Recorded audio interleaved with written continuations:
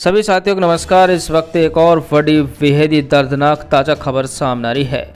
इस बड़ी दुर्घटना ने पूरे देश में कोहराम मचा दिया है। प्रधानमंत्री नरेंद्र मोदी और गृह मंत्री अमित शाह ने भी गहरा शोक व्यक्त किया है। इसके अलावा प्रधानमंत्री नरेंद्र मोदी ने मृतकों के परिजनों के लिए दो दो लाख रुपए और घायलों के लिए पचास हज़ार रुपये की वित्तीय सहायता का भी ऐलान किया है।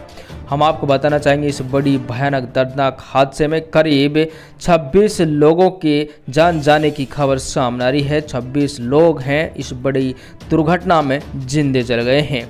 चलिए, क्या है पूरा मामला? देंगे इस खबर के बारे में आपको संपूर्ण जानकारी विस्तार से। दरअसल घटना महाराष्ट्र के बुल्डाना में शुक्रवार देर रात करीब डेढ़ बजे के आसपास हुई है।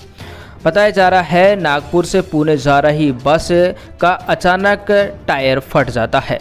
टायर फटने की वजह से ये बस असंतुलन हो जाती है। ड्राइवर अपना असंतुलन खो देता है। पहले बस है जो खंबे से टकराती है और इसके बाद सड़क पर बने डिवाइडर पर चढ़ जाती है।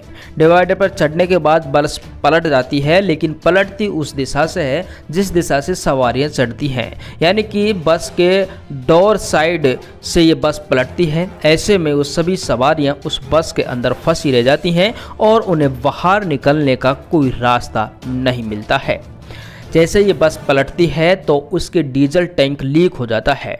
डीजल बाहर की तरफ़ आता है और बस पलटने की वजह से चिंगारियाँ निकलती हैं तो वो डीजल उसको आग पकड़ लेता है।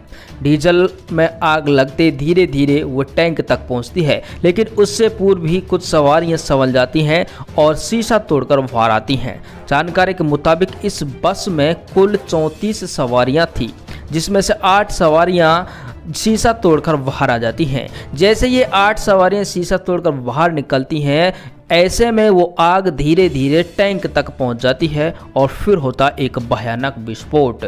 जैसे ये विस्फोट होता है तो पूरी बस तुरंत एक आग के गोले में तब्दील हो जाती है। बाकी सवारियों को तो निकलने का मौका ही नहीं मिलता है और यहाँ पर 26 सवारियाँ उस बस के अंदर ज़िंदा जल जाती हैं। इस बड़ी घटना ने पूरे देश में कोहराम मचा दिया है।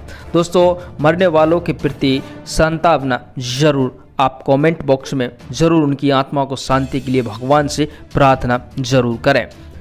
बुल्ढाना के एसपी सुनील कड़ोसन ने बताया कि हादसे में बस का ड्राइवर और कंडक्टर दोनों ही बच गए हैं, जिनको पुलिस ने हिरासत में ले लिया है। दरअसल, टायर फटने के बाद यह हादसा हुआ है और बस में आग लग गई और आग डीजल के टैंक ने पकड़ ली, जिसके बाद करीब चौंतीस यात्री जो इस बस में सवार थे, उनमें से 26 यात्रियों की चलकर मौत हो गई है। इस बड़ी घटना ने पूरे देश में तो कोहराम मचा हुआ है। राष्ट्रपति, प्रधानमंत्री, मुख्यमंत्री और गृह मंत्री सभी ने गहरा शोक व्यक्त किया है। जतरे की ताज़ा खबरें, बने रहिए